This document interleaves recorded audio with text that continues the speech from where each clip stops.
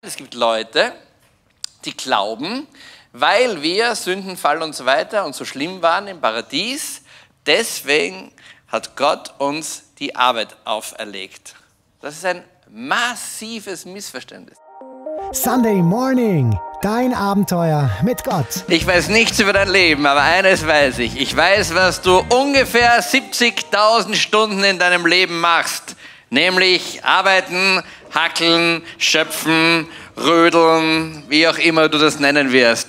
70.000 Stunden ungefähr in unserem Leben verbringen wir in unserer Hacke, in unserer Arbeit. Deswegen lohnt sich extrem, dort mal einen Blick drauf zu werfen. Herzlich, beim Sunday, herzlich willkommen beim Sunday Morning, herzlich willkommen Radio, Fernsehen, überall, wo du mit dabei bist. Herzlich willkommen hier herinnen. Wir verbringen echt Schweine viel Zeit an unserem Arbeitsplatz. Und deswegen wollen wir heute am zweiten Teil unserer Serie Fruitful Life uns ein bisschen genauer das anschauen. Denn der Arbeitsplatz ist ein Ort von Spannungen, das ist ein Ort von Kampf, das ist ein Ort von Frustration, das ist ein Ort von Durchbruch, das ist ein Ort von Freude, das ist ein Ort von mega Segen. Es ist alles gleichzeitig.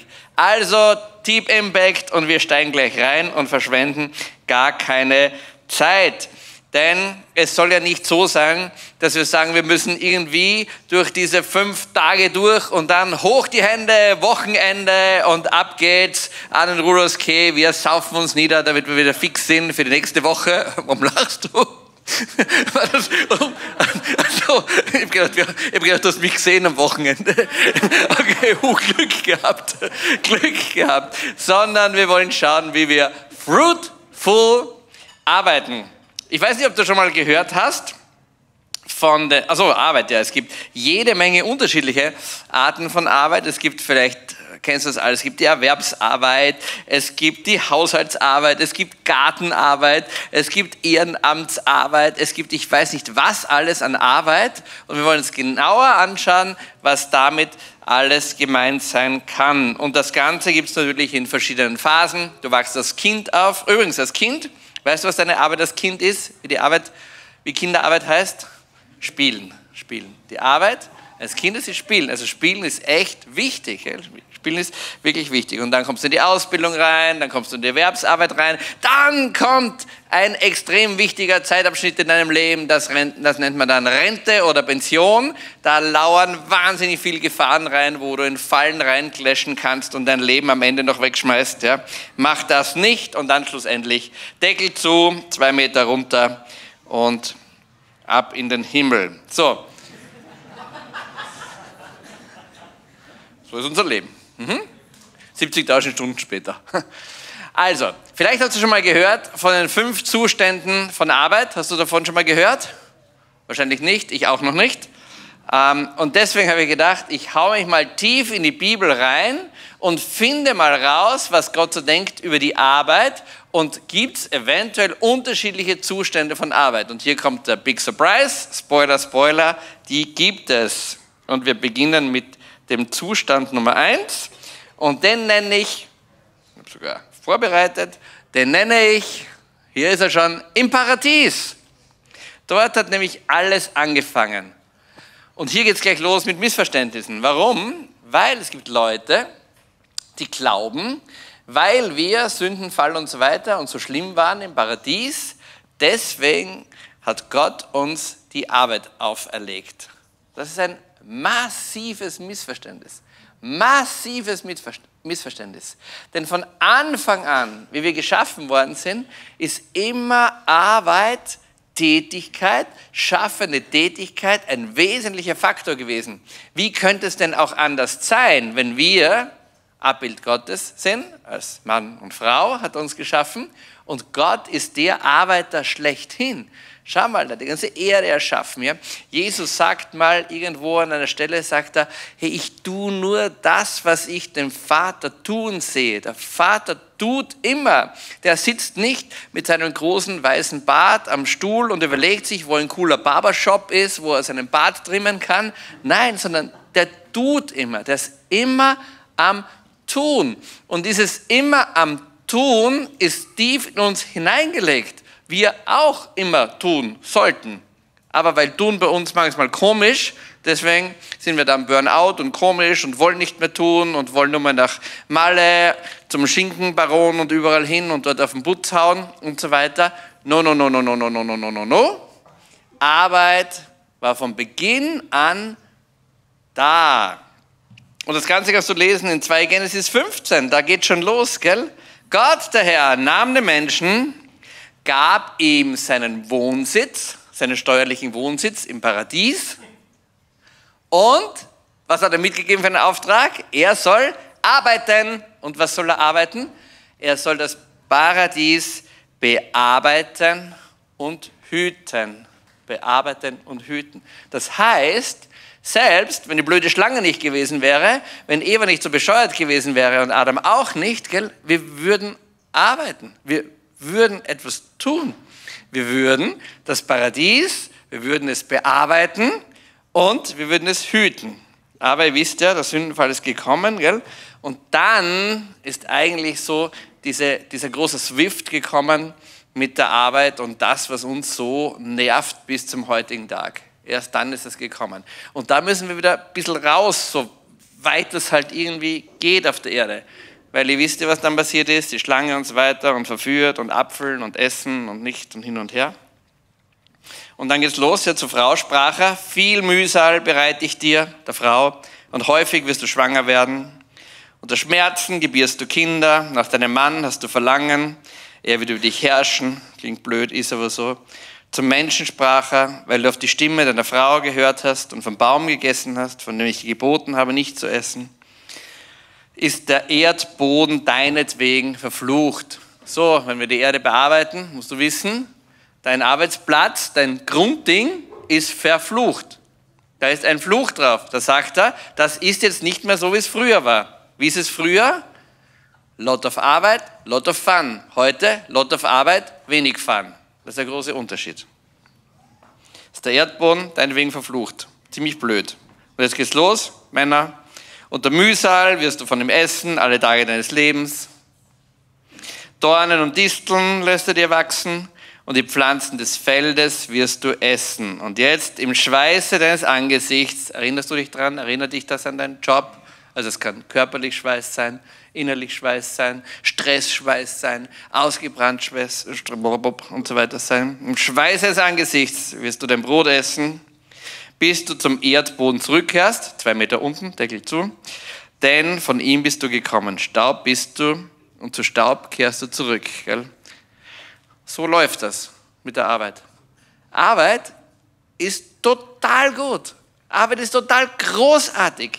Gott liebt Arbeit, weil er Arbeiter ist. Aber leider sind wir aus dem Paradies raus, sind jetzt da auf der Erde, once a day, da kommen wir dann wieder zurück und bis dahin müssen wir uns ein bisschen plagen. Und dieses Plagen schauen wir uns jetzt genauer an in den Zuständen der Arbeit, wie das so läuft. Warum? Weil Gott ja nicht das größte Interesse hat, dass du dich total verausgabst und total kaputt machst und dich total wo reinsteigerst und total alles gibst irgendwo hin, sondern trotzdem gibt es noch hier eine Ordnung, aber die Arbeit wird nie ganz einfach gehen. Sie wird immer einen Preis haben. Warum? Sonst bräuchten wir das Paradies nicht, sonst bräuchten wir Erlösung nicht, sonst hätten wir eh schon alles, was da ist. Ist aber nicht so. Okay. So, erste, erste Zustand von Arbeit, the Paradise. Jetzt geht's los. Zweiter Zustand der Arbeit, und das hat jetzt mehr mit dir zu tun, als du vielleicht glaubst, ist die Fronarbeit. Und wenn du in der Bibel liest, dann stolperst du, ich weiß nicht wie oft über diesen Begriff von Fronarbeit drüber. Was ist Fronarbeit? Fronarbeit? Susanna fragt dich schon, fragt links, fragt rechts, was ist Fronarbeit? Jay sagt, keine Ahnung, was Fronarbeit ist. Uschi sagt, das ist das, was ich jeden Tag machen muss. Nein, stimmt nicht. Fronarbeit Fronarbeit, Fronarbeit heißt, da gibt es jemanden, da gibt es jemanden, eine Autorität oder ein anderes Volk oder einen König oder eine Institution oder einen bescheuerten Firmenchef und der backt dich und der sagt, hey, du musst jetzt für mich arbeiten. Das ist noch nicht Sklaverei, das ist eine Stufe drüber, aber da fehlt dann nicht mehr viel davon. Du musst hart arbeiten Ich nehme dir von dem Ertrag, von dem, was du arbeitest, dann nehme ich dir so gut wie alles weg und ich lasse dir nur das über, was du zum Leben brauchst. Und wenn du reinschaust in die Geschichte des Volkes Israels, dass sie die ganze Zeit kommt das Volk immer wieder in Fronarbeit, immer wieder. Warum? Gott gibt die Erklärung dann dazu, weil das Volk abfällt von Gott, weil es andere, Völker, andere Götter anbetet, weil es die Baalpriester anbetet, weil sie Gott untreu werden, weil sie Kulthöhen errichten, weil sie all den Quatsch machen, den wir ja auch machen. Und deswegen packt Gott sie immer wieder und lässt zu, dass ein anderes Volk, die Assyrer, die Babyloner oder wer auch immer kommt und sie in Fronarbeit bringt. Und was müssen sie dann machen? Paläste bauen, Tempel bauen, Straßen bauen, alles Mögliche bauen, Felder bestellen, Vieh hüten und so weiter. Und du denkst dir, was hat das mit dir zu tun? Ganze Menge. Heute sind mehr Leute in Fronarbeit, als du glaubst. Und du brauchst gar nicht nach Afrika denken, sondern mitten unter uns. Was ist Fronarbeit? Du arbeitest hart und viel und es bleibt dir genauso viel über, wie du zum Leben brauchst. Und vielleicht kennst du das aus dem eigenen Leben. Hm. Wenn du so viel verdienst, dass du dir in Salzburg gerade mal die Wohnung leisten kannst und dass du gerade über die Runden kommst und dass dir kein Cent überbleibt, wo du sagst, ich würde auch gerne mal in ein Restaurant essen gehen, ich würde auch gerne mal ins Kino gehen, ich würde, ich träume davon, once a day eine Wohnung zu haben. Aber no way, no way. Weißt du, wo wir da sind?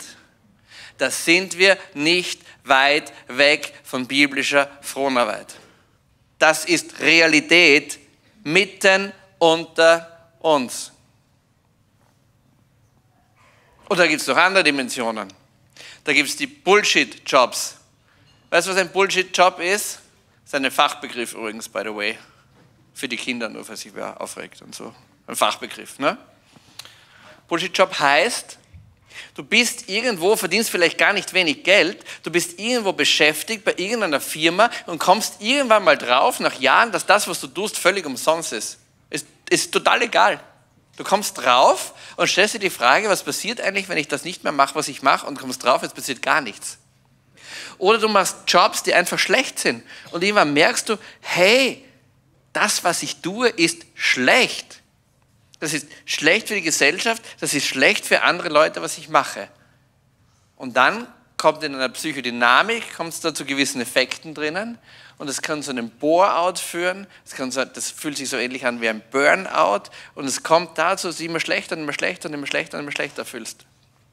Es gibt gar nicht wenig Menschen, die völlig frustriert und völlig K.O. und völlig kaputt aussteigen aus gut bezahlten Jobs, weil sie einfach die massive Sinnlosigkeit von ihrem Job spüren. Und weißt du, was es ist? Das ist auch eine Art Fronarbeit. Das ist keine gute Arbeit. Das ist eine Arbeit, die von Gott so nicht gewollt ist. Oder du bist Zusteller, Paketzusteller, vielleicht weißt du das. Die, das sind alles Einzelunternehmer, die rackern sich ab, die fahren herum. Und wenn du sagst, bitte, du kannst doch nicht meinen neuen Amazon-Fernseher bei der Tür reinschmeißen, gell? das kann er, weil er gar keine andere Zeit hat. Ja? Sondern wenn der nicht rennt und wenn der nicht tut, dann hat er keine Kohle. Und wenn der einmal krank ist, dann weiß er nicht, was er tun soll. Das ist Fronarbeit. Das ist Fronarbeit mitten unter uns drinnen. Und that's not good. Dritter Zustand von Arbeit nach biblischen Kriterien. Und das ist Erwerbsarbeit. Weißt du, was Erwerbsarbeit ist?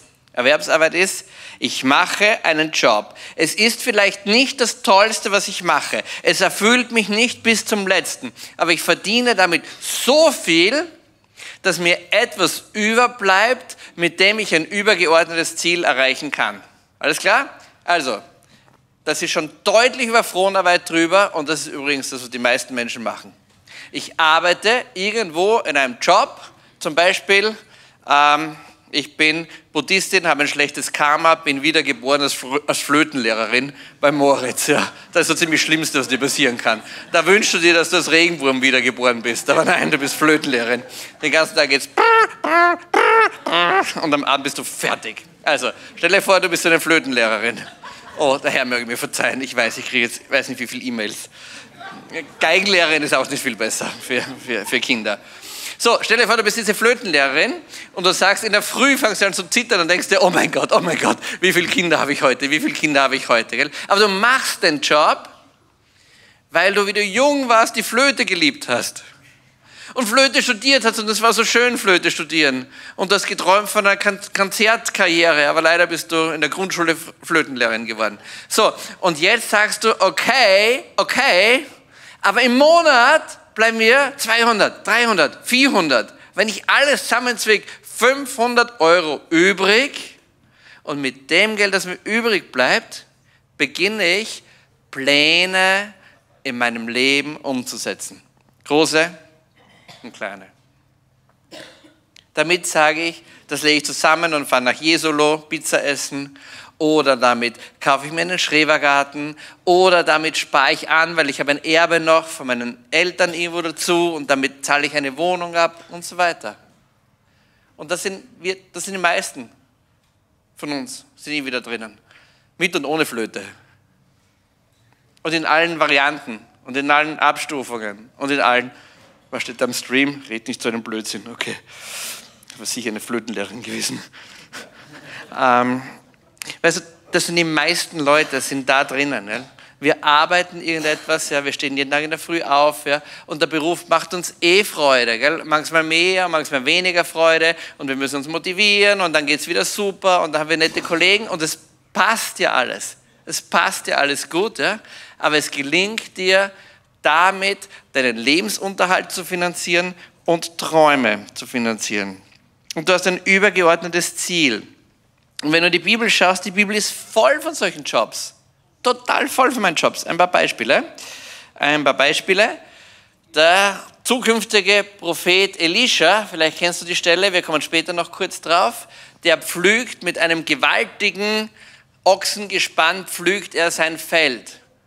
Und ich weiß nicht, ob ihm das Pflügen so wahnsinnig Freude macht, ja? aber er pflügt das. Warum? Weil er ein übergeordnetes Ziel hat. Das übergeordnete Ziel ist, er kriegt eine fette Ernte. Mit der Ernte kann er sich, seine Familie ernähren und vielleicht kann er sogar etwas verkaufen davon und sich andere Dinge noch leisten davon. Ja? Oder Judith, die große Figur von Judith, ähm, die den Kopf des Holofernes abschlägt an einer Stelle. Weißt du, wie ihr Mann gestorben ist?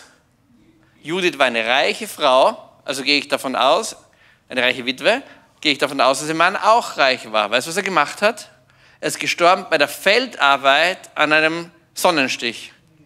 Er war, er war ein reicher Mann, er war am Feld, Sonnenstich, Maustot, Judith, Witwe, Holofernes, Kopf ab. So die Kurzform. Also, the point is, auch der reiche Mann geht aufs Feld und arbeitet. Und ich weiß nicht, ob ihm das so gut taugt, dass er dort am Feld arbeitet bei der Sonne. Aber er hat ein übergeordnetes Ziel das erreichen möchte. Oder nimm an, wen nimmst du an? Nimm an, David, König David, wie er noch ein kleiner Bursche war, hat die Schafe gehütet und hat den Bären mit seiner Steinschleuder immer auf die Rübe gehaut. Ja? Oder du kannst die ganzen Jünger nehmen, Zöllner, Fischer, alles Mögliche, was sie sind. Also wir sind in Top-Gesellschaft. Wir sind Top-Gesellschaft in diesem Zustand von Arbeit. Wir arbeiten, wir arbeiten etwas das macht uns manchmal total viel Freude, manchmal Mittelfreude, manchmal keine Freude. Und da kriegen wir was dafür. Und mit dem, was wir kriegen, erfüllen wir uns unsere Träume. So, und jetzt gibt es den vierten Punkt. Und der heißt Berufung. Wenn dein Job zur Berufung wird, das ist cool. Das ist cool.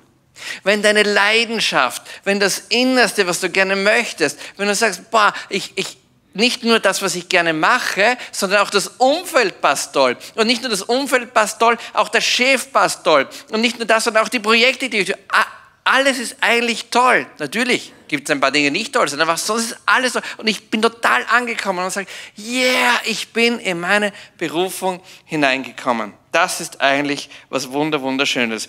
Deine Talente werden zu Fähigkeiten und zu Fertigkeiten. Das, dieser Zustand, dass dein Job in eine Berufung hineingeht, ist der Idealfall hier auf der Erde. Jetzt erzähle ich dir eine kurze, tolle Geschichte. Wir gehen wieder zurück zu Elisha. Der Elisha pflügt und schwitzt mit seinen Riesenochsen am Feld. Er ist in seiner Erwerbsarbeit. Dann kommt der Prophet Elia vorbei.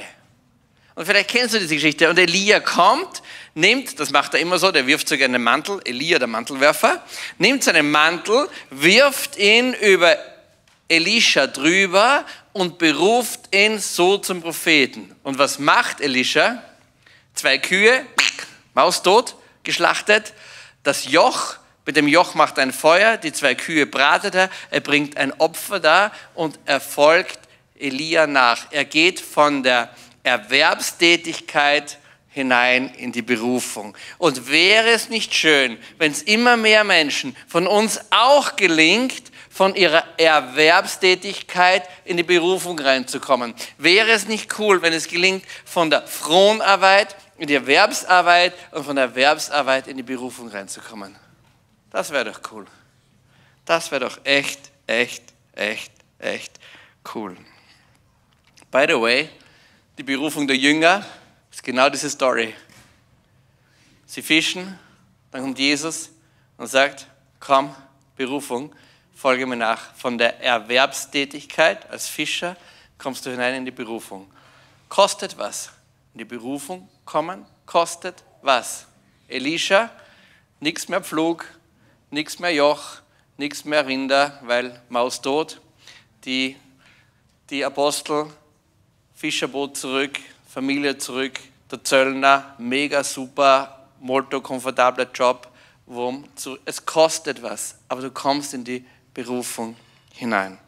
So, und das letzte, die Vollendung, the Paradise Reloaded. Da kommen wir dann wieder zurück. Und weißt du, wie es dort sein wird? So wie am Anfang. Wirst du im Himmel was arbeiten? Ja, ja, ja wahrscheinlich wunderschöne, total tolle Dinge, die genau auf das passen, was schon ganz tief in deinem Herzen drinnen ist. Und bis dahin dauert es noch ein bisschen. Und lass uns vorbereiten, diese Schritte dorthin zu gehen. Drei scharfe Ansagen. Drei scharfe Ansagen an mich selber. Und alle, die es hören wollen, sollen es hören. Alle anderen, denen es zu scharf ist, die sollen es vergessen. Erste scharfe Ansage. Mega chillen ist einfach nur Faulheit. Mega chillen ist nur Faulheit und kommt in der Bibel ganz schlecht weg.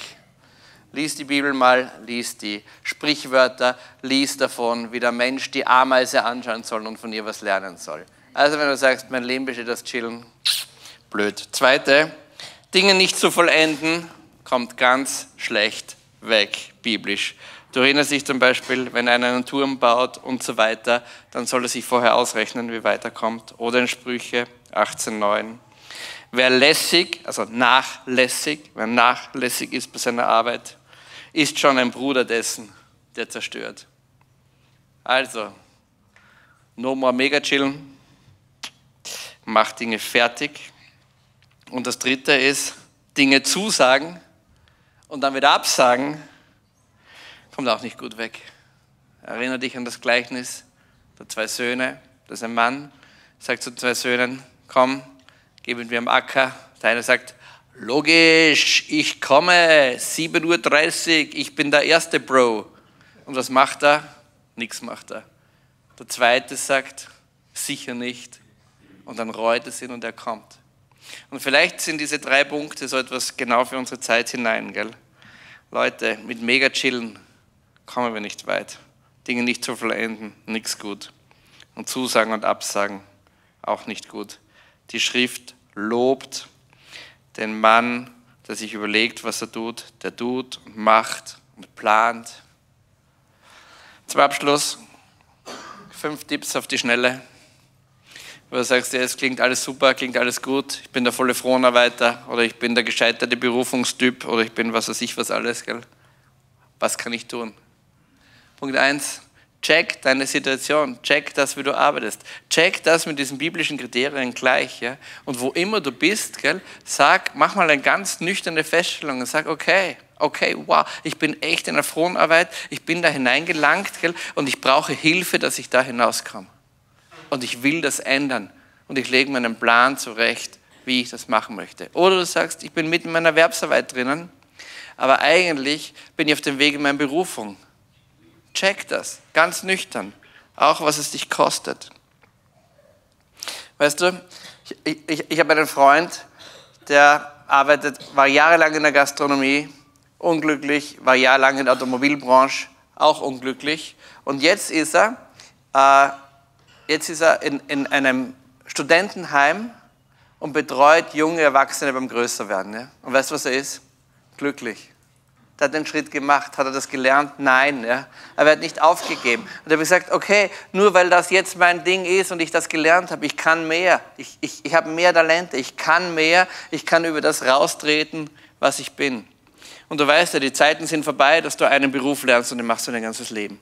Sondern wir leben heute von immer mehr Zusatzausbildung, immer mehr Dingen. Schau, dass du rauskommst aus deinem Ding, wo du drinnen steckst. Zweite, investiere deine Zeit. Wenn du Teilzeit arbeitest, wenn du sagst, ja, ich bin so einer, 15 Stunden Arbeit reicht mir schon am Tag, gell? Wow, wow, wow, wow, wow, wow, wow, wow, wow, wow, wow, gell? Investiere deine Zeit und deine Talente gut. Weißt du eigentlich, wie Gott von der Ferne her gedacht hat, dass er arbeitet und was Gott hält von der 38-Stunden-Woche? Relativ wenig. Im dritten Gebot, gell, spricht Gott, du sollst den Sabbat ehren. Aber weißt du, was er sagt? Er sagt eigentlich was Zweites, genau genommen. Er sagt, an sechs Tagen sollst du arbeiten. Und am siebten sollst du ruhen. Sagt Gott eigentlich, gell? Jetzt sind wir in der glücklichen Lage, dass wir nicht sechs Tage arbeiten müssen, um uns zu ernähren. Aber Arbeit ist mehr, das ist Tätigkeit, das ist irgendetwas tun. Und wenn du einen 15 Stunden Job hast, einen 20 Stunden Job hast, überlege dir, wo kannst du deine Zeit hinein investieren? Welches Ehrenamt? Wo kannst du beginnen, die Welt besser zu machen? Wo kannst du wirklich sinnstiftende Aufgaben übernehmen, die jetzt nicht im bezahlten Erwerb drinnen sind? Sondern du hast ein Riesentalent anvertraut bekommen und das ist Zeit. Der dritte, und wenn du jetzt sagst, ich will einen Change machen, ich will meinen Beruf verändern oder ich will sinnvolles, sinnstiftendes über meine bezahlte Tätigkeit hinaus machen, dann hol dir einen Buddy, hol dir einen Freund, hol dir irgendwen und berate dich. Weißt du, wir machen oft so viele Dinge aus der Hüfte raus und aus der Emotion raus, aus irgendwelchen Überlegungen raus. Hol dir irgendjemanden mit dem du sprichst und sagst, hey, was haltest du davon? Ich glaube, ich möchte meinen Beruf wechseln. Ich glaube, ich möchte was Neues lernen. Ich glaube, ich möchte meine Zeit irgendwo hinein investieren. Hol dir einen Buddy und sprich mit dem, wie das gehen kann. Vierte, Zehen.